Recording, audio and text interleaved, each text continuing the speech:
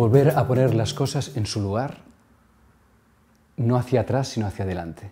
Es decir, no es volver a poner las cosas en su lugar tal como estaban, como si no hubiera pasado nada, sino que gracias a que se pueden volver a poner en su lugar después del conflicto, aparece un lugar nuevo donde se pueden colocar mejor de como estaban antes.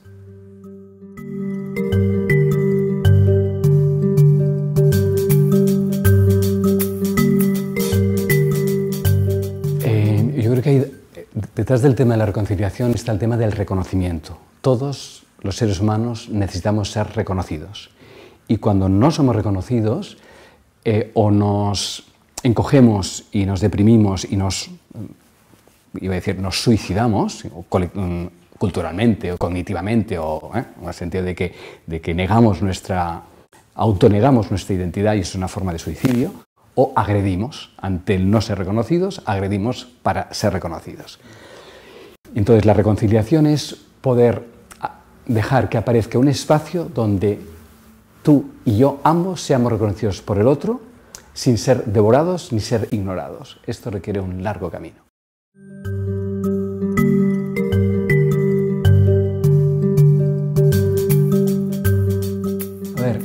Yo creo que la, gran diferencia entre las religiones orientales de las religiones teístas occidentales o el cristianismo es que nosotros ponemos mucha eh, énfasis